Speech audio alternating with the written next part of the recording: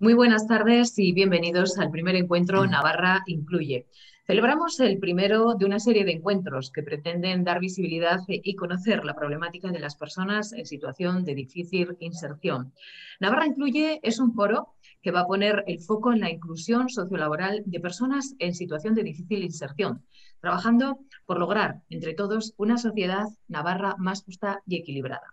Entre los objetivos de Navarra Incluye se encuentra también el hecho de concienciar a la sociedad poco a poco y persigue una meta, aportar soluciones desde el prisma de los diferentes agentes implicados. En este primer encuentro virtual vamos a abordar la situación que ha dejado la pandemia del COVID en este sector de la población y lo hacemos desde la perspectiva de las organizaciones sociales. Hoy, desde distintas organizaciones sociales, nos acompañan y voy a saludar ya a nuestros invitados. Carolina Ibáñez Otazu, directora del programa de acogida de Cáritas. Carolina, ¿cómo estás? Buenas tardes y bienvenida. Gracias, muchas gracias por invitarnos a este foro.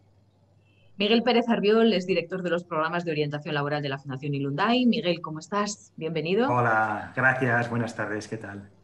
Maite Iriso Velasco es directora del Plan de Empleo de Cruz Roja Navarra. Maite, encantados también de tenerte hoy con nosotros. buenas tardes y gracias por esta oportunidad. Y Jesús García Salguero es coordinador de Fundación Castelán y también nos acompaña. Jesús, ¿cómo estás? Muy buenas tardes. Muy bien, buenas tardes, Belén. Gracias por la invitación.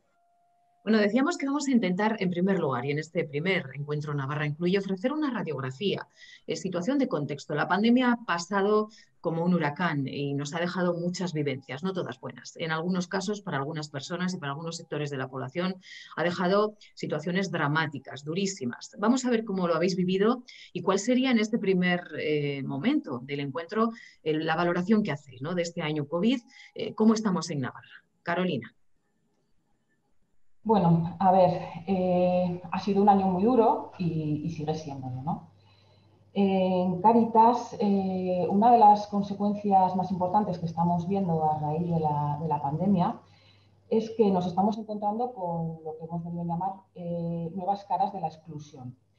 En el informe FOESA del año 2019 ya se decía que en Navarra había en torno a 94.000 personas a las que denominábamos la sociedad insegura, eran mm. personas integradas, eh, pero con trabajos eh, muy precarios y ya intuíamos en aquel momento que estas personas iban a ser las primeras en caer en el caso de que llegara una nueva crisis. Bueno, pues esta crisis ha llegado y efectivamente estas personas son las que primero nos están llegando a Caritas. Son muchos trabajadores del sector de la hostelería y del servicio doméstico.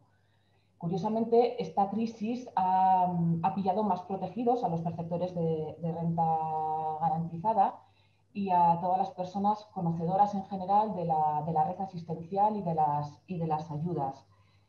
Eh, son personas que sabían que contaban con un ingreso fijo a fin de mes, que además de la renta garantizada eh, contaban con otro tipo de subvenciones, becas, tarifas sociales, etcétera, que, bueno, que de alguna manera han actuado de colchón.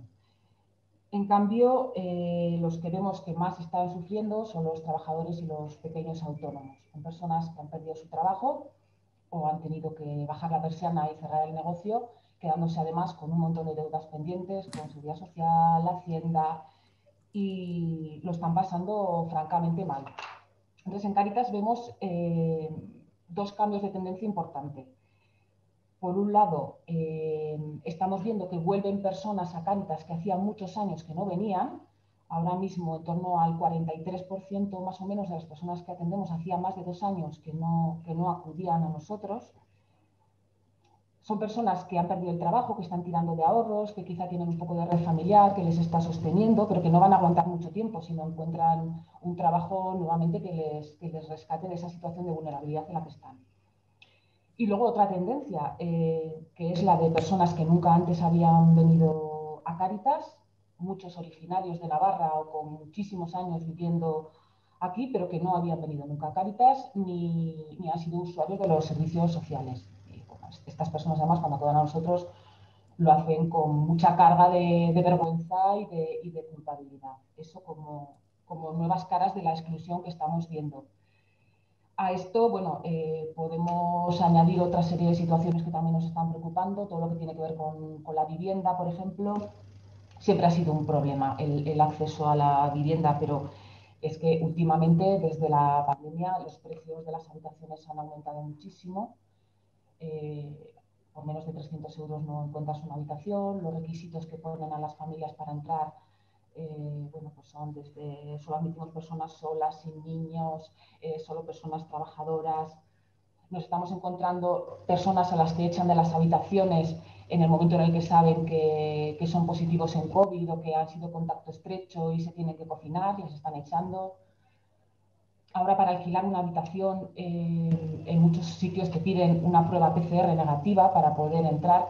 Y ojo, estoy hablando de habitaciones, ¿eh? Eh, ni siquiera estoy hablando del acceso a, una vivienda de alquiler, estamos hablando del acceso a, una habitación en piso compartido, que es lo máximo a lo que muchas familias pueden acceder.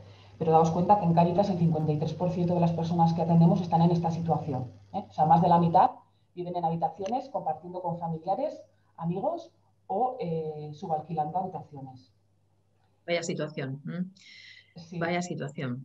Por el momento, si te parece, Carolina, con esta, este, este, panorama que nos ofreces de Caritas, tendríamos ya una pieza del puzzle. Vamos a ver cómo nos plantea el, inicio eh, y esa valoración de, para comenzar de la situación que vivimos eh, tras la pandemia o en los últimos estertores de la pandemia, desde Fundación Ilunday, Miguel Pérez Arbiol. Cuéntanos. Pues sí, Belén, pues al final, pues un poco corroborar las, las, palabras también de Carolina, ¿no? La verdad que ha sido un año muy complicado y vemos como aquellos sectores de población, pues que, como dice Carolina, ¿no? Pues estaban un poco en el límite, que estaban con unos empleos más precarios, con una situación un poco más inestable, pues han sido los primeros que han caído prácticamente, ¿no? En, en nuestro caso, que nos centramos en un colectivo como es el de juventud, que además tradicionalmente ya todo el tema del desempleo juvenil, ya de por sí, ¿no? es una situación que hay que ir trabajándola, está claro que ante la llegada de una crisis económica, en este caso provocada por la crisis sanitaria, pues es un sector que se ve afectado directamente. ¿no? En, nuestro caso, por ejemplo, si nos fijamos solamente en menores de 25 años, pues es el sector que porcentualmente más ha notado el incremento del desempleo. ¿no? Estamos hablando que desde, desde febrero del año pasado prácticamente se incrementó un 60% el desempleo en este, en este sector de población. ¿no? Y los motivos, pues al final son muy claros. Al final, estas personas pueden acceder a empleos muy precarios, eh, por supuesto, nada de empleos fijos, sino toda una, una tasa de temporalidad brutal, ¿no? prácticamente el 90-95% de los contratos son, temporales y al final son los primeros empleos que, se caen, con lo cual nos encontramos con una situación de jóvenes con muy pocas perspectivas de futuro y de empleo, que es un poco lo preocupante, ¿no? también cómo afecta eso a las personas y luego la, cronificación de esas situaciones eh, de vulnerabilidad que, al final dan paso a situaciones casi de, de inclusión o de exclusión. A esto, si sumamos otros colectivos, como por ejemplo migrantes, que la situación también ha sido similar, eh, el tema de personas con baja cualificación, que es un factor fundamental. ¿no? Estamos hablando de que prácticamente el 70% de las personas empleadas tienen muy bajos niveles de, cualificación, con lo cual ella nos está dando una, foto bastante buena de cuáles han sido las personas que principalmente han sido afectadas por esta, por esta crisis económica y también qué tipos de empleos son los que se han visto afectados. ¿no? Efectivamente, pues limpieza doméstica, hostelería, todo el sector servicios en general, pues lo ha sufrido con potencia. ¿no?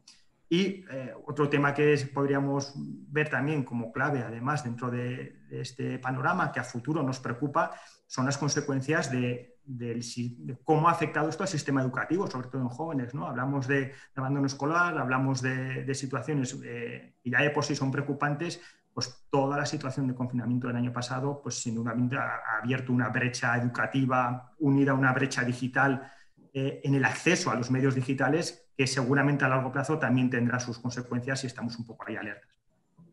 Muy bien. Eh, Maite Iriso, ¿cómo lo habéis vivido en Caritas, oye, perdón, en Cruz Roja, cómo lo estáis viviendo en este momento y sobre todo qué aportarías a lo que han dicho ya eh, desde Caritas y desde Fundación Ilundain? Bueno, pues eh, yo creo que, lo que nos ha traído el COVID ha sido un acelerador de situaciones que realmente, situaciones o cambios del mercado laboral que ya estaban, ¿no? Pero sin embargo sí que se han evidenciado situaciones muy claras. ¿no? Eh, la temporalidad del mercado laboral y la flexibilidad que eh, efectivamente afecta sobre todo a esos trabajadores empobrecidos, ¿no? porque quizás sí que tienen empleo, eh, pero el salario no les da como para, para vivir. ¿Por qué? Pues porque son trabajos muy precarios, temporales y con una alta flexibilidad, ¿no? que es lo que la empresa eh, en este momento también ha demandado, ¿no? la flexibilidad de los trabajadores. Luego creo que se ha dado un fenómeno que es el teletrabajo, que efectivamente el teletrabajo se ha podido dar en aquellos eh, trabajos más cualificados o donde había mayor formación, con lo cual otra vez los colectivos en riesgo de exclusión, aparte de que se evidencia la brecha digital eh, que tanto que bueno, luego hablaremos del futuro, ¿no? Pero que, también les vuelve a dejar fuera. Con todo esto, sí que es verdad que ha habido una protección social, como bien apuntaba Carolina, de, personas que cobraban renta garantizada o trabajadores más estables que han podido optar a, un ERTE, pero claro, sí que ha, eh, ha habido personas que la capacidad de ahorro, si estamos hablando de trabajos temporales, no ha sido ni siquiera de dos meses, con lo cual eh, eh, se produjeron situaciones eh, de necesidades básicas por el hecho de la poca capacidad de ahorro, por el hecho de que, de que los ERTES se retrasaron y luego había personas que estaban vinculadas en sectores con contratos temporales que directamente fueron despedidas o no contratadas. Y luego también ha habido muchas personas en el cuidado de personas dependientes en, en servicio doméstico que las prestaciones se han visto totalmente bueno, pues de un día a otro se han visto sin empleo, ¿no? En este sentido, yo creo que las personas más afectadas, eh, apuntando lo que habéis dicho, han sido mujeres, donde el incremento del desempleo ha sido eh, pues bueno, eh, importante, sobre todo porque trabajaban en, en, servicios y en cuidados a personas, jóvenes, otra vez, nuevamente, y luego, bueno, ha dejado una situación, pues eso, en Navarra, desde, si comparamos desde el 2019 al 21, pues más de 9.000 desempleados y menos de 5.000 personas en un alta en la seguridad social. Con lo cual, eh, si a esto añadimos que la sociedad está más, cada vez más digitalizada, con trámites burocráticos, eh, pues bueno, yo creo que, que, sí que se nos plantea a futuro unos retos que luego hablaremos, ¿no? que, que son nuevos, nuevos empleos. Ahora hablamos también de retos y de futuro, que es lo que realmente nos, importa, porque ahí es donde todavía se puede hacer algo y donde podemos actuar. Pero vamos a escuchar también a Jesús García Salguero desde Fundación Gastela. La situación, Jesús, ¿cómo lo veis? ¿Cómo lo habéis vivido? Pues desde Fundación Gastelán solemos decir que la pandemia, bueno, Maite hablaba de, un acelerador. Desde aquí vemos que la pandemia ha sido una, una lupa que, que ha permitido visibilizar mucho más desigualdades que ya existían y, carencias en el, entorno, en el entorno próximo. Ha habido muchas más personas que han caído en situación de vulnerabilidad y de pobreza, pero también son mucho más visibles. Nos han tocado cerca, en los medios de comunicación han estado mucho más presentes en el, último año. También ha agravado las dificultades y, y también nos ha hecho conscientes de que somos mucho más vulnerables de lo que creíamos. Eh, que hay factores que no podemos controlar y que nos pueden hacer caer en, una situación de, bueno, pues de dificultad social grave. Eh, a nivel, esto pensamos en Castellán que puede tener una parte positiva de sensibilización, pero también una parte negativa que seguramente podamos hablar después. Eh, por sumar algunos datos más a los que ya han aportado desde el resto de entidades. claro, todavía no, todavía no se han quedado reflejadas en las estadísticas cuáles han sido los efectos o cuáles van a ser los efectos a largo plazo de la pandemia. Pero, por ejemplo, hace poquito salió, salió un estudio de dos universidades, de los departamentos de economía, de la Complutense y la de Oxford, que hablaba que una de cada diez personas en Navarra habían caído en la pobreza en el último año por la ralentización de la actividad económica. Hablaba concretamente de un 8,2%. Uno de cada diez. Quiere decir que cualquiera puede tener un vecino o un, familiar al que, al que le está pasando esto. ¿no? Y hay un 70% más de hogares que, hace 12 meses que tienen a todos los miembros, eh, a todas las personas adultas en edad de trabajar en paz, en desempleo. Eh, lo cual quiere decir que sí, se ha agravado la, desigualdad, se han agravado las diferencias y la vulnerabilidad social. A nivel concreto, eh, bueno, en Castellán eh, trabajamos con, colectivos muy diferentes, pero sí que es verdad que el perfil más habitual suele ser el de mujer, mayor de 40 años, hogar monomarental, sin, cualificación específica, con una formación básica y como ya han comentado, está reuniendo muchos indicadores que, bueno, de vulnerabilidad, ¿sí? que te pueden acercar mucho más fácilmente, te pueden separar mucho más fácilmente del mercado de trabajo. Y es lo que nos estamos, lo que nos estamos encontrando. Luego seguramente podemos entrar en más detalle, pero nuestro colectivo, también otro colectivo con el que trabajamos, que es el de poblaciones reclusa, también se ha visto por su, por su situación particular muy afectado en el último año. Si ya tenían dificultades siempre, en el último año todavía más. Eh, y cosas que ya han salido también. La brecha digital, de la que seguro que yo creo que, aquí las cuatro entidades tenemos muchas ganas de hablar de eso, porque lo estamos viviendo día a día. Eh, los problemas de vivienda que comentaba Carolina, el miedo, el desánimo, personas con una red social muy limitada. Estamos acostumbrados a, a tener muchos apoyos, tanto familiares como personales y, las personas en más dificultad económica también suelen tener una red social más precaria, eh, pues ha aumentado bueno, pues la ansiedad, el temor, eh, yo hablaría incluso de, pánico a veces, ¿no? de, sentirse paralizadas y paralizados ante, ante la situación la verdad es que la situación, sí, eh, Jesús, lo que os decía, necesitaríamos una hora para estar con cada uno y aún no llegaríamos a hacer un análisis en profundidad, porque la situación es muy complicada. Y, fijaros que estamos estos días eh, acordándonos de cómo estábamos hace un año, en el inicio del confinamiento y cuando realmente la pandemia comenzó a mostrar su, su cara más dura, ¿no? Pero es que esto no termina. Todos pensábamos que en un primer momento, siendo optimistas, a finales del año pasado. Después pensamos, yo creo que esto ha sido común. Ahora para Semana Santa, pero ya parece que vemos bastante claro que aún hasta después del verano, en el mejor de los casos, hay que seguir eh, bueno, pues con todas las alertas sanitarias porque la vacunación, que es la clave, pues no parece que va a llegar eh, al ritmo que esperábamos. Y esto incide claramente en la situación general que vivimos tanto económicamente como socialmente y en especial en el de estas personas y en estos colectivos en mayor riesgo. Por lo tanto, hay que tener todavía no sé si un balón de oxígeno o, seguir aguantando. Esto es como una carrera, como un maratón, porque aún nos queda eh, un momento complejo ¿no? que vivir y que afrontar. Y aún así quiero que intentemos ser, pues no sé si optimistas, pero poner luz en la medida de las posibilidades. ¿Cómo veis eh, el futuro? ¿no? ¿Qué visión podéis anticipar a, a corto y medio plazo. No me atrevo a preguntaros por un largo plazo porque nadie sabe qué va a pasar, pero en los próximos meses, incluso hasta final de año, ¿Cuál es la situación que, anticipáis? ¿no? Y después hablaremos de qué es lo que necesitamos y cuáles son los grandes retos. ¿Qué nos dirías, Carolina? Visión de futuro. Pues es una incógnita, el futuro es una incógnita. Nosotros nos preocupa mucho, por ejemplo, el tema de los ERTES que puedan acabar convirtiéndose en ERES. En este momento estamos hablando de algo más de 8.000 personas en, en Navarra que están en situación de ERTE y nos, nos, preocupa, nos preocupa mucho esa, esa, transición. Y a futuro, pues, pues como bien te digo, una, una, incógnita, una incógnita. Va a depender un poco de lo que, de lo que las entidades y la administración eh, seamos capaces de, de mover. En esa incógnita nos movemos, Miguel, creo, todos, ¿no? Unos más que otros.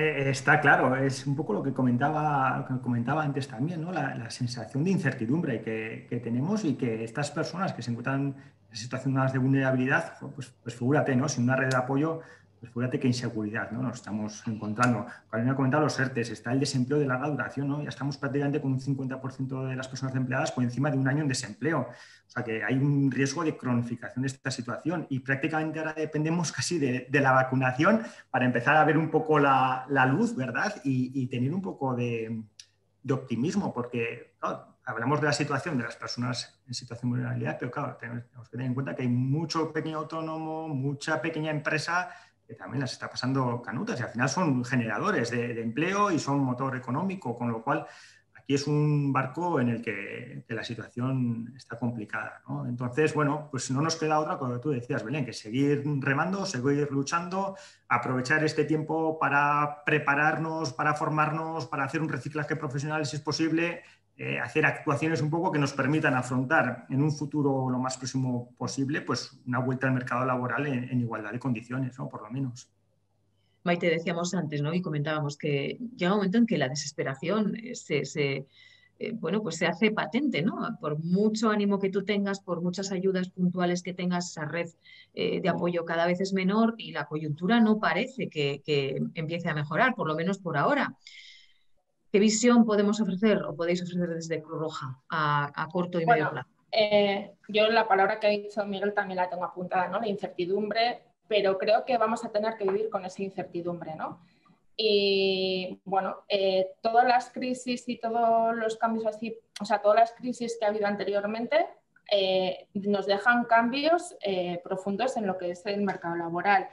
Entonces, yo creo que vamos a tener que intentar anticiparnos a, esa incertidumbre, ¿no? Se están hablando, por ejemplo, de que en 2030 pues, no conocemos los empleos que va a haber, ¿no? Entonces, va, a ser yo creo que eh, se van a transformar los empleos que hoy conocemos, sobre todo pues, en tema de nuevas energías, eh, la transformación digital nos va, a cambiar a todos, eh, va a cambiar no solo la forma de, vivir, sino también los puestos que conocíamos anteriormente, pues igual van a, ser diferentes. Me imagino, imagínate pues una persona de limpieza, pues es que igual con la digitalización vamos a nuevos empleos que la persona de limpieza igual tiene que eh, llevar una tablet para eh, manejar la máquina. O sea, es que eh, creo que, que, por eso tenemos esa incertidumbre, ¿no? Porque son empleos nuevos que nos vienen, nos están diciendo los expertos que van a venir, pero no conocemos las características, ¿no? Luego, esto también va a implicar una regularización, o va a tener que llevar implícita una regularización de los derechos. Lo hemos visto con los RAIDER a nivel estatal, eh, era impensable, impensable en Pamplona, ¿no? que, hace cinco años que te llevaran la comida a casa. Hoy ya hay unos, unos nuevos trabajos en ese, en ese ámbito. ¿no? Luego, el tema de la flexibilidad. Efectivamente, hoy estamos así, mañana no sabemos cómo vamos a estar, ¿no? porque no sabemos cómo va a avanzar la pandemia. Entonces, esa flexibilidad lo que nos va a hacer es que, eh, también lo leía hace poco, ¿no? una frase que me llamó la atención, ¿no? no lo voy a citar quién lo dijo porque no recuerdo, pero era, eh, mi padre tuvo un trabajo en toda su vida, yo voy a tener siete trabajos y mis hijos van a tener siete trabajos a la vez. Creo que es un paradigma del mercado laboral que nos va a cambiar. Eh, y es lo que hablábamos del trabajador empobrecido, ¿no? Entonces, yo creo que para poder subsistir vamos a tener que combinar eh, varios ingresos, no solo de un trabajo, sino incluso trabajo y prestaciones sociales o lo que sea. Entonces creo que nos enfrentamos a nuevas formas de trabajo y nuevas maneras de hacer y que va a exigir pues, ciertas competencias como trabajadores y trabajadoras de capacidad de adaptación, de gestión a la incertidumbre, de una formación y aprendizaje continuo, de competencias digitales, de capacidad de análisis, de pensamiento crítico y yo creo que ese es un poco a lo que nos enfrentamos. Jesús, eh, desde Fundación Castelán, seremos lo suficientemente resilientes ¿no? y tendremos la capacidad de adaptarnos a esto que viene en, la situación en la que estamos, además, y de dónde venimos. Bueno, habrá que ver. Eh, yo creo que también hay una cosa importante que es no solamente centrarse en lo que las personas que ahora están en desempleo tienen que hacer, sino que tenemos que hacer el resto de agentes que estamos actuando en la sociedad. Y, yo creo que hay, por, dar tres claves únicamente, a tres niveles. A nivel eh, político-administrativo, eh, ya se ha comentado antes, la red de protección pública, la extensión y eficacia protectora de esa red de prestaciones económicas, por ejemplo, creo que ha sido Caritas quien ha comentado, Carolina, pues bueno, que las personas que están percibiendo ahora renta garantizada han sufrido menos los efectos de, la crisis del último año, ¿no? Pero aún así la renta garantizada eh, no permite superar el umbral de pobreza severa en Navarra. Quiere decir, no te permite vivir con, cierta seguridad a la que el resto de la sociedad estamos acostumbrados. Eh, hay que reforzar esa red protectora, eso a nivel administrativo. A nivel social, eh, desde Gastelán pensamos que tenemos que cambiar percepciones y creencias, eh, porque seguimos asociando mucho el, tema del éxito al mérito, esa meritocracia de la que se habla tanto, eh, y, el, y está en una situación de dificultad al fracaso y en cierta manera a la culpabilidad. Y, y, eso lo tenemos que modificar. Por eso he hablado antes de que al final esta crisis ha, ha demostrado que no podemos controlar todo lo que nos rodea, que cualquier persona puede caer en una situación de, vulnerabilidad o de exclusión del mercado laboral y que no depende solamente de que haya hecho bien las cosas o no. Hmm. Eh, quizá tengamos que aprovechar esa nueva percepción para cambiar bueno, creencias muy asentadas. Y luego a, nivel de las entidades, eh, creo que también es, es, importante, y yo creo que aquí todas lo hacemos, eh, no solamente trabajar bueno, las competencias laborales y la incorporación al mercado, tú Belén hablabas antes de incorporación social, y también hay que facilitar eh, apoyo, apoyo social con toda la situación de, de, inestabilidad emocional que esto está generando, que está afectando mucho más a las personas en más vulnerabilidad. Bueno, creo que aportamos ese enfoque más humano y de acompañamiento personal y social. ¿no?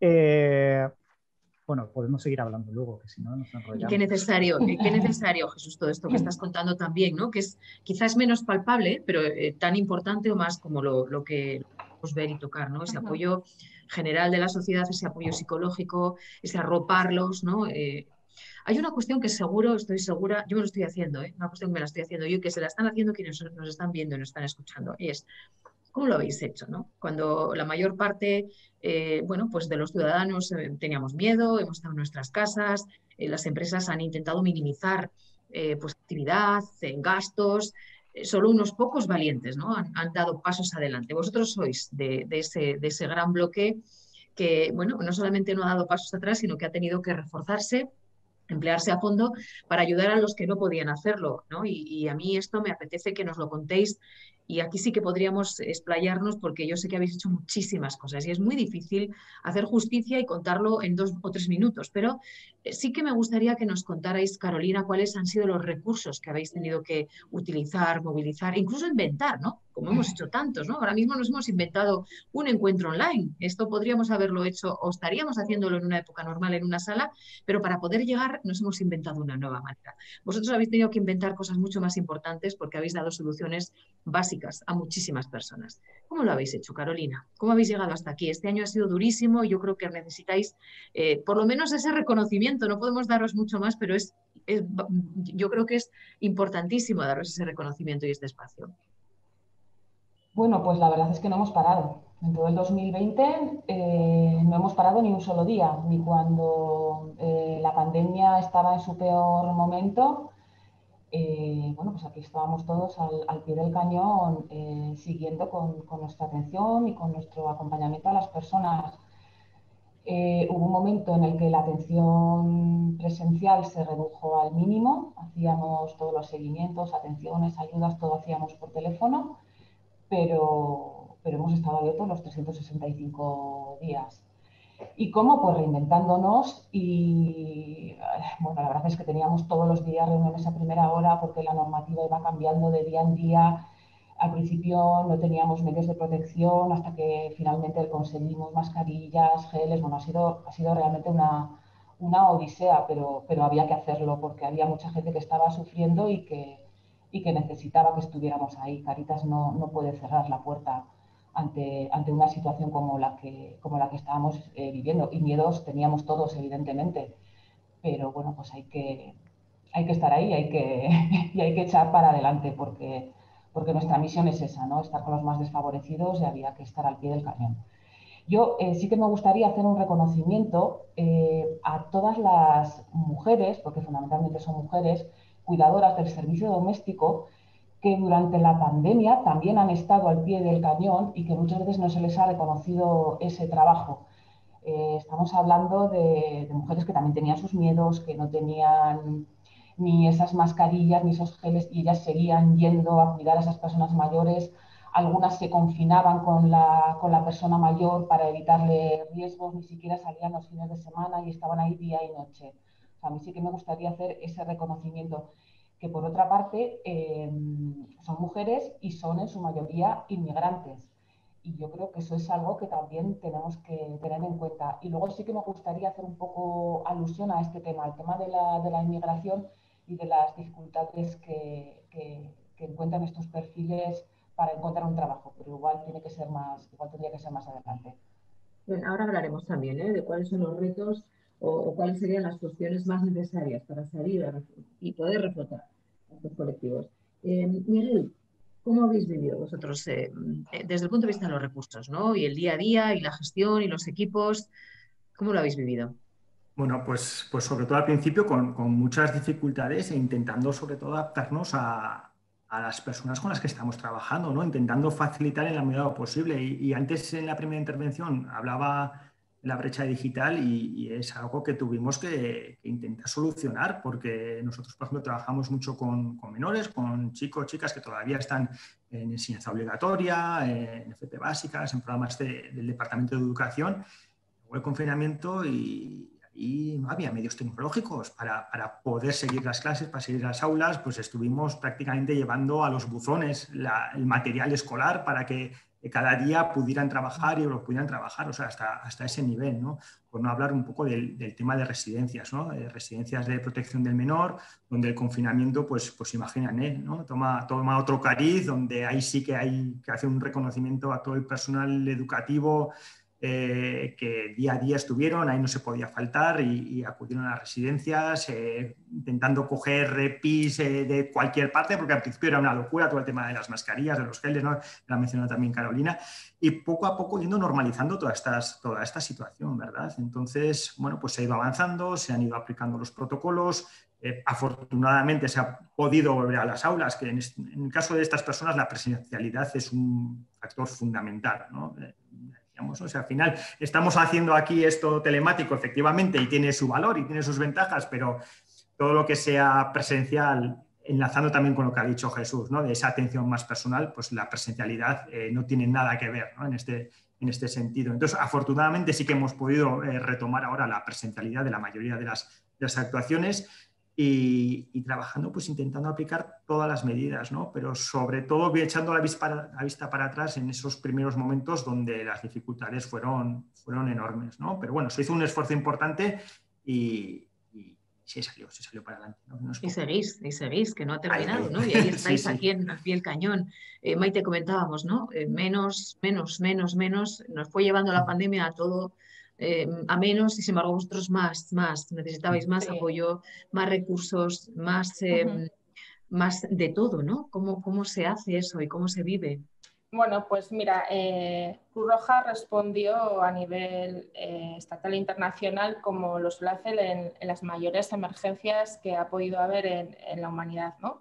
Y en este sentido, pues hubo, o sea, todos los recursos que se pusieron a disposición de, de paliar las necesidades de la pandemia. El, o sea, el otro día lo recordábamos, ¿no? El 17 de marzo, la última reunión de equipo y ya el fin de semana nos ponemos a llamar eh, a través del centro de operaciones a informar de la pandemia. Entonces hubo una reubicación total de, los equipos, eh, dando prioridad a aquellas necesidades eh, que la población mm, mayoritariamente demandaba, demandaba y entonces, bueno, pues eh, en materia de, o sea, se ha dado varias respuestas en colaboración también con, con, las entidades públicas. Eh, y ya centrándonos en lo que es la materia de empleo, porque bueno, pues nos voy a hablar de, de los transportes que se hicieron a las residencias eh, de ancianos para aislar a las personas de COVID, todo el tema de quita alimentarios, tarjetas a personas, a familias que estaban eh, con niños que comían en el comedor y se les cortó el comedor, bueno, pues no. Eh, además de muchas personas mayores que vivían en soledad este tema y que ha habido un acompañamiento tanto telefónico como de llevar compra, medicación a domicilio. Eso ha sido posible no solo a, las caras trabajadoras, sino a, la cantidad de voluntariado que se, que se volcó en, en, hacer posible esto. Y en cuanto al tema de empleo, pues bueno, mm, lo que decíamos, ¿no? Nos venían diciendo, hay que meter la, digitalización, eh, hay que intentar romper la brecha digital y bueno, en una semana pasamos de una atención totalmente analógica a una atención digital donde ha sido fundamental eh, la escucha activa, eh, el, acompañar a esas personas y hacer una, sobre todo una atención integral, porque ya no era tema de empleo, sino gestión emocional, que lo apuntaba antes Jesús, eh, mm, llevarles eh, dispositivos digitales como una tablet para que pudieran seguir eh, formándose, ayudas concretas, porque bueno, también se ha vivido, mm, lo apuntaba Carolina, el tema de la vivienda. Había familias, mujeres, sobre todo con tres niños en un cuarto de estar. ¿Cómo iban a hacer formación esos niños? ¿Cómo ellas iban a formar para poder trabajar? ¿no? Y eso unido al miedo a salir a, trabajar que te contagiabas, ¿no? Que no tenías. Entonces, bueno, eh, creo que hemos aprendido también de todo esto y que también se han sacado pues, nuevas metodologías de trabajo. Y además creo que en el colectivo vulnerable se ha hecho visible que pueden eh, con lo digital. Y yo creo que hemos roto ese estereotipo, ¿no? También un poco de que nos parecía como que hay una atención digital a un colectivo a una persona tal, pero yo creo que hay que romper esos estereotipos y esos esquemas de, que porque sean población en exclusión, que también creo que lo ha apuntado Jesús, que hoy podemos estar aquí y mañana ser nosotros colectivo de exclusión. ¿eh? El camino ha sido muy complicado, está siendo difícil, Jesús, pero como dice Maite, ¿no? Quizá ¿Qué aprendizajes hemos obtenido de este año eh, único, ¿no? Este año, el año de la pandemia. Pues hemos aprendido que se podían hacer cosas que no sabíamos que se podían hacer. ¿no? Yo creo que al hilo de lo que comentaba Maite de Cruz Roja, por poner dos ejemplos concretos, en el, programa en el que mis compañeras trabajan con, mujeres migrantes, eh, claro, hay una parte que tiene que ver con formación básica prelaboral, eh, con muchas castellano. Bueno, la duda era, ¿se va a poder hacer clases de castellano online? Y las pudimos hacer ¿eh? con tutorías individuales, eh, con, a través del WhatsApp, claro, facilitando tarjetas y en ocasiones móviles, porque también hay, hay, precariedad a la hora de acceder a equipos, pero sobre todo también a la hora de acceder a los datos, que parece algo muy pedestre, pero, pero es un gran problema que yo creo que hemos vivido todas. Eh, bueno, pues dimos clases online de, de castellano con estas personas. Y claro, eran clases de castellano, pero también era un seguimiento de sus dificultades, de la convivencia en los domicilios, de otros problemas que iban surgiendo, de dificultades para acceder a trámites burocráticos, eh, de solicitudes de documentación que solamente se podían hacer digital. Bueno, y esa fue una experiencia que nos demostró que se podía hacer y, además que ha sido muy bien valorada por las participantes después. Y en otro ejemplo concreto, con un colectivo muy diferente, eh, con, con poblaciones reclusa que está en tercer grado, bueno, hubo un momento en el que las personas en tercer grado salían de prisión por la mañana y volvían a última hora de la tarde. Pero, claro, ¿qué hacías, no? Y, bueno, no podíamos atender aquí presencialmente en aquel momento, pero sí que establecimos una red de contacto continuo telefónico con estas personas, de seguimiento casi diario con ellas, que también ha sido muy bien valorado. Intentamos paliar la falta de cercanía física con, con un incremento de la cercanía, aunque sea a distancia y desarrollamos una campaña muy pequeñita, pero que a estas personas también les sirvió para, para elaborar el sufrimiento agravado que, que, nos ha generado la COVID, que era Palabras del Olvido, que les permitía a través de WhatsApp. ¿eh? Eh, bueno, generar eh, discursos propios sobre cómo estaban viviendo esa situación, ¿no? Y en qué se diferenciaba cómo lo estaban viviendo estas personas de lo que creían que, que estaba viviendo la sociedad en general, ¿no? En resumen, hemos descubierto que se podían hacer, nada puede sustituir lo presencial, pero por lo menos sí podemos poner un parche y, descubrir nuevas maneras de actuar. Y seguir adelante, ¿no? que es lo importante siempre. Hablando de, continuar adelante, habéis eh, puesto encima de la mesa algunos de los problemas más serios, ¿no? Eh, el empleo, la vivienda, eh, todo este tema, el acceso a la educación, ¿no? todo este tema que tiene que ver también con, lo psicológico, ¿no? con, con, el aspecto más, más humano, ¿no? más de apoyo. ¿Cuáles serían los problemas eh, que cada uno de vosotros destacaríais como prioritarios? Y en el fondo son los retos a los que nos vamos a tener que enfrentar. Fijaros que eh, nos están ya diciendo que el año pasado, 2020 ha sido muy duro, pero que 2021 no va a dejar de serlo, aunque tengamos vacuna y aunque la situación sanitaria mejore, todavía nos va a costar y vamos a seguir lastrando una situación muy complicada muchos meses.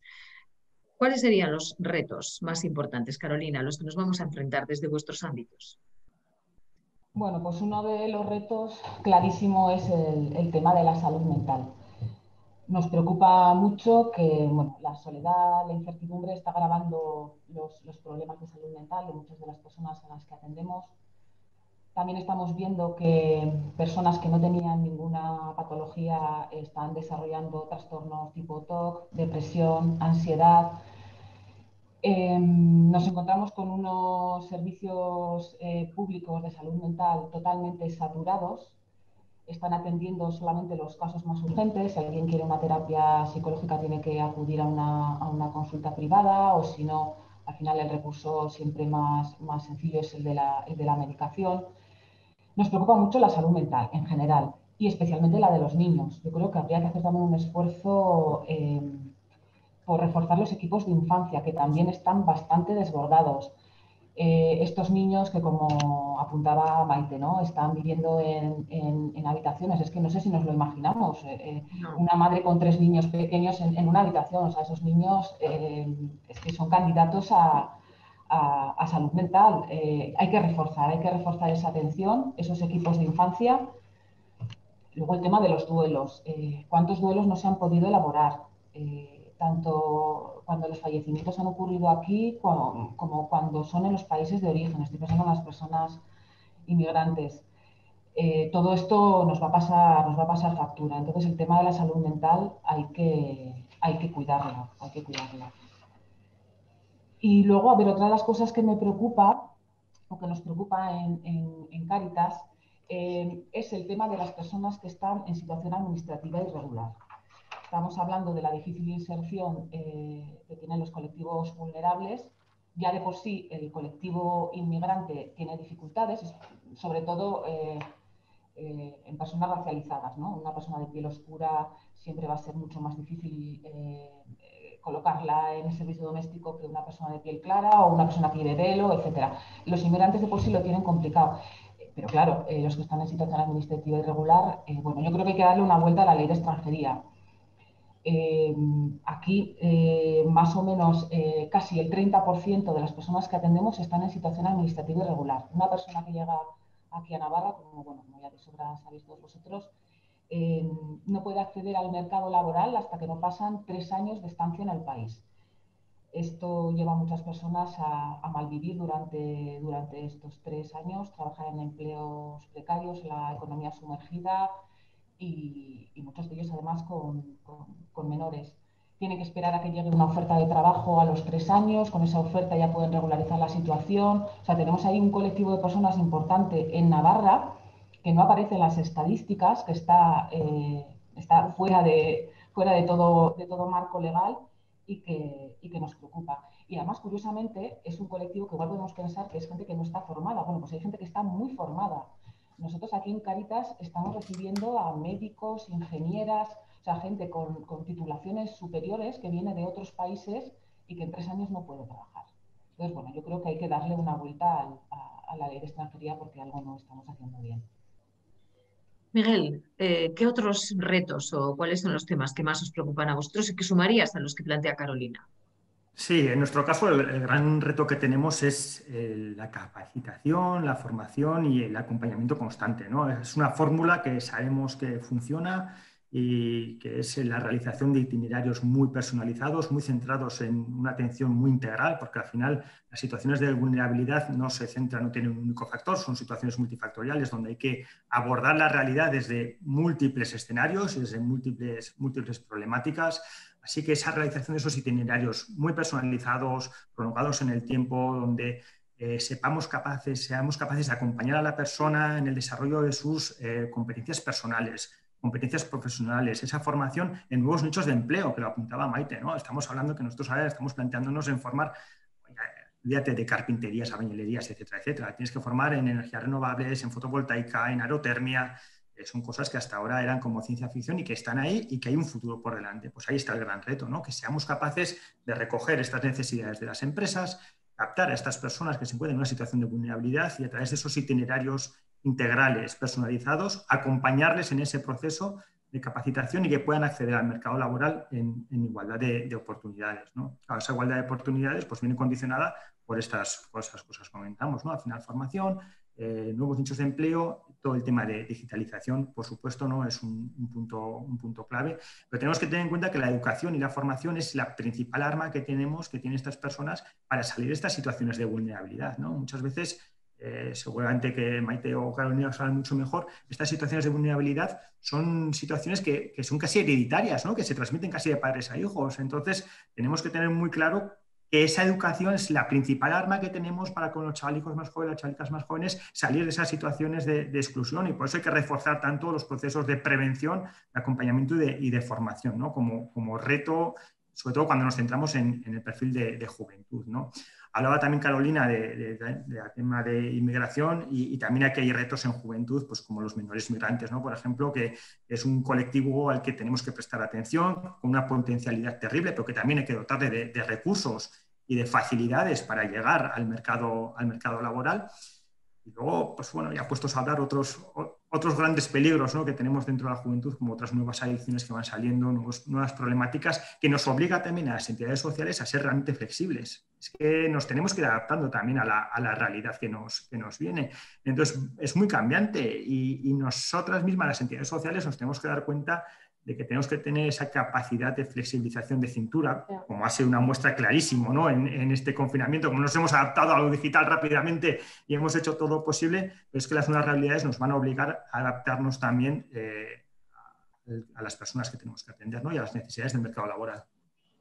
Maite, retos para minimizar o ir solucionando la problemática de las personas en situación de difícil inserción desde, desde Cruz Roja bueno, comparto lo que se ha dicho hasta el momento y, bueno, recalcar sobre todo, pues eso, esa adaptabilidad que tenemos que, tener como entidades, eh, el aprendizaje a lo largo de, la vida.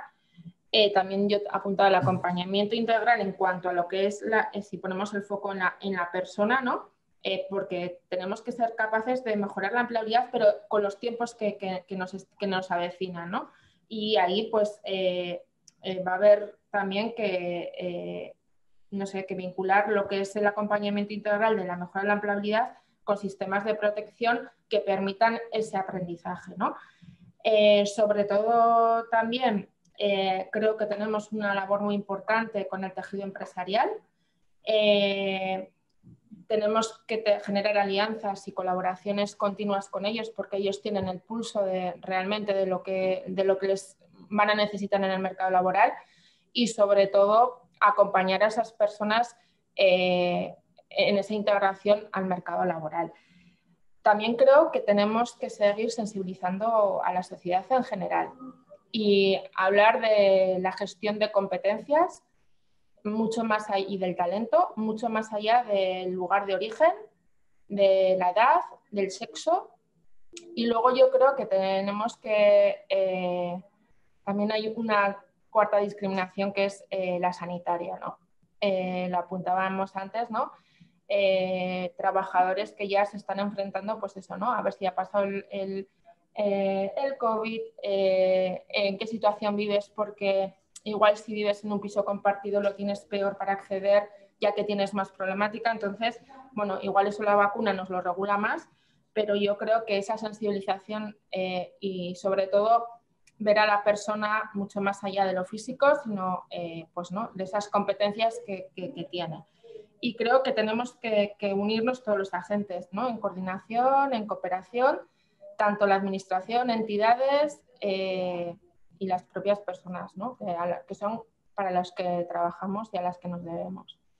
Interesante, Jesús, que eh, además de todo lo que planteáis ¿no? como retos bueno, pues eh, con nombre y apellido, eh, también entendáis que es muy importante esa unidad entre todos los agentes. Yo creo que es básico, ¿no? Y quizás sería el primero, el primero de todos los retos, Sí, sí, sí, el trabajo en red, que yo creo que además son cosas que ya estamos desarrollando en, alguna medida. Bueno, Castellán, Inunda en Cruz Roja sí que tenemos algunos proyectos compartidos en, en algún momento, ¿no? Eh, también desde Gastelán, bueno, como entidad de economía solidaria sí que lo tenemos metido en el ADN y dentro de, los valores de la entidad y de la forma de, actuar, el trabajo en plataformas, pues bueno, para compartir tanto conocimiento como, como fuerza, ¿no? Porque al final sí que las entidades estamos viviendo el día a día, eh, somos muy adaptables y, sí que podemos compartir conocimientos para, abordar de manera más efectiva las, las dificultades para mí había tres claves para, abordar los retos o tres cosas que identificamos en, en Gastelán como necesarias. La primera, eh, las personas, además de un empleo, eh, el empleo lo que nos da es una estabilidad económica, pero también nos da un lugar social. ¿no? Tenemos que encontrar formas de, canalizar la participación social efectiva y de posibilitar su participación social efectiva de todas las personas, sea cual sea su situación y sus capacidades iniciales. Y eso empieza desde dentro de las propias entidades. En, en Gastelán este año, bueno, estamos valorando formas de que las propias personas que han, estado aquí eh, sean agentes activos dentro de la entidad. Y, tenemos alguna experiencia pequeña de, bueno, de, personas, eh, por ejemplo, reclusas que, apoyan a personas que entran en el, programa ahora. Y eso automáticamente les da un, nuevo papel social y, sentirse parte de algo más, más grande. ¿no? Eh, después también, como comentaba, somos una entidad de economía solidaria y pensamos que, el modelo económico también debe, cambiar. Eh, ahora está cambiando, pero quizá llevada por las circunstancias. Tenemos que empezar a ser agentes de cambio social y promover modelos de producción en los que valores como la equidad o la sostenibilidad estén mucho más presentes. Eh, y algo que ha comentado también Maite Cruz Roja, eh, los procesos de intermediación y de relación con las empresas, eh, para Gastelán también es un reto ese establecimiento de alianzas, pero alianzas permanentes que vayan más allá de, bueno, pues, de una subvención puntual para la contratación. ¿no? Creemos que, el empresariado tiene que apostar por la, por la contratación de personas en dificultades porque, primero, porque aparte de, como empresa, aparte de su valor social, no es solamente generar productos o servicios, sino también contribuir a la mejora social de lo que forman parte. Y luego también porque conocer que, que aporta nuevas, con historiales de vida diferentes, con experiencias distintas, pueden aportar valores diferentes a, a la empresa. ¿no? Y, y, pensamos que eso parte de tener una relación de confianza continua en el tiempo con, las entidades. Bueno, Jesús, casi ya te has adelantado a mi pregunta última, porque nos quedan muy poquitos minutos. Casi os voy a pedir que en un minuto lancéis un guante, ¿eh? porque estamos terminando. Ha sido nuestra mm, manera de iniciar estos foros. Eh, entendíamos que teníais que ser vosotros en este primer encuentro Navarra Incluye, las, las entidades, quienes estuvierais aquí, pero en el próximo, que se celebrará en el mes de abril, va a ser el sector empresarial quien esté eh, analizando la situación y en mayo serán las instituciones. Por lo tanto, lanzar un guante, eh, ¿qué les pediríais? ¿Qué les preguntaríais a las empresas o a las instituciones o a las empresas y a las instituciones para que podamos trasladarles también vuestras inquietudes en los próximos programas? Carolina. Bueno, pues a las empresas eh, hay que fomentar la creación de empleo y hay que mejorar las condiciones, las condiciones laborales. A mí me da mucho miedo que si si la situación de empleo no, cambia, vamos a hacer una sociedad polarizada donde unos poquitos privilegiados trabajarán y el resto serán perceptores de, ayudas sociales. Y, eso no, es lo que queremos. Queremos que la gente trabaje y que pueda trabajar en, en unas condiciones dignas. Miguel. Pues en mi caso, las empresas lo tengo muy claro, ¿no? Que es una apuesta, una apuesta por, por, esto, por estos colectivos, por las personas de estos, que pertenecen a estos colectivos, ¿no? jóvenes, pero que más allá del colectivo, ¿no? que, una apuesta por una confianza precisamente porque son personas que están muy preparadas, que se van a preparar, que, que han hecho un esfuerzo, que han hecho un, proceso de capacitación. Pues vamos a dejarnos de estereotipos o de recelos o de miedos y apostar realmente por, por las personas y por, las, por la colaboración con, con, las entidades. Todas las entidades que estamos aquí llevamos muchísimos años trabajando con, con las empresas, eh, intentando acercarnos, intentando presentarles la realidad de las personas con las que trabajamos y ahora es más importante que nunca que haya realmente una apuesta a estas empresas por estas personas y un poco por, por sistemas de, equidad social prácticamente. ¿no? Y a la administración, pues básicamente, eh, sin la medida de lo posible, intentar garantizar ¿no? Eh, estos programas, intentar garantizar que haya una continuidad en los itinerarios, que no haya una incertidumbre de, tal manera que una persona termine un proceso educativo y no sepa muy bien a dónde dirigirse. ¿no? Eh, la importancia de que esos itinerarios de los que hablábamos antes tengan una continuidad y tengan una, una estabilidad dentro de lo, de lo, posible. Que haya una implicación fuerte, que haya eh, bueno, pues realmente una continuidad en, en, las tareas que se desarrollan. Eh, ¿Qué más, Maite, qué pediríais desde Cruz Roja tanto a las empresas como a las instituciones? Yo creo que una de las cuestiones es que nos vean a las entidades sociales, o en este caso a Cruz Roja, como una, una entidad en la que puede confiar y que, y que además una alianza, ¿no? Eh, una alianza que, no, que puede dar respuesta a demandas que la empresa puede tener. Eh, podemos eh, ofrecerle personas cualificadas, preselección de, de, candidaturas con un conocimiento importante de la persona porque trabajamos a largo plazo con las personas que nos den información para poder formar en lo que necesitan esas, e, personas y poder ir de la mano en, los nuevos retos que nos enfrentamos. Y bueno, eh, yo creo que, eso sería un poco lo que, lo que sería, ¿no? Que las entidades ya invertimos en las personas vulnerables con ayuda de la administración, por supuesto, y que estamos al servicio también de, de las empresas y que las empresas nos pueden aportar y nosotros les podemos aportar mucho, ¿no? Eh, a través de las personas eh, con las que trabajamos. Qué importante, Maite, también, ¿no? Que ellos entiendan que necesitáis esa, eh, esa especie de equidad, ¿no? A la hora de, entenderos como un interlocutor válido, fuera etiquetas, fuera prejuicios que en principio no existen o no deberían existir, pero subyacen, ¿no? Y a veces el verbalizar y el quizá ahora encontrarnos en este foro y en este, en este momento puede ayudar, ¿no? A, a este tipo de problemas que vienen de atrás, pero que la pandemia, como bien decíais antes, creo que lo decías tú, Jesús, no ha hecho más que poner el foco ¿no? y la lupa en, las dificultades mayores. Tú ya has dicho alguna de las cuestiones que le plantearías a las empresas y a las instituciones, pero no sé si quieres añadir algo más desde Fundación Castellán. Sí, bueno, dos cositas. Solamente reforzar ese discurso de que al final las entidades sociales, por la cercanía que tenemos a, a las personas, podemos aportar valor a la empresa, un conocimiento eh, del que ellas no disponen en un primer momento de las personas que, pueden trabajar allá. Y luego a nivel eh, institucional, bueno, pues ahora tenemos, no sabemos qué va a pasar con, el programa Next Generation, los fondos de la Unión Europea. Y al final pensamos desde Castellán que bueno, puede ser una oportunidad para, contribuir a una transformación económica y social, una reforma estructural que, que, reduzca las desigualdades que se están acrecentando ahora. ¿no? Eh, pensamos que es la oportunidad de, apostar por la protección social y por un cambio, por un cambio social efectivo a largo plazo. ¿sí? Eh, que, no venga, que no venga unido después a bueno, lo que ya conocemos, a planes de estabilidad con recortes en, en inversión en servicios públicos, porque como comentabais ya antes, es que no solamente se trata de empleo, se trata de salud, se trata de educación y mal iremos si, si, si quitamos de un lado para poner en otro. ¿no? Los, el programa Next Generation es una oportunidad fantástica para mejorar la, la incorporación social y laboral de, de, todas las personas en dificultad.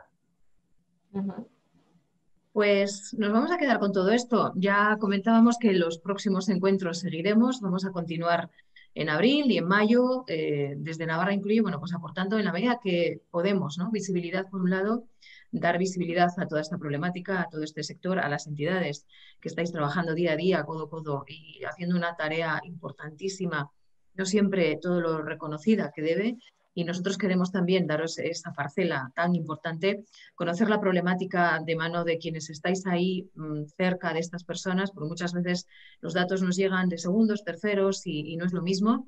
Y ojalá también seamos capaces, desde Navarra Incluye, de aportar eh, alguna solución o de dar eh, alguna pista eh, bueno, pues para concienciar a la sociedad y para que a la larga eh, tengamos una, Navarra mejor.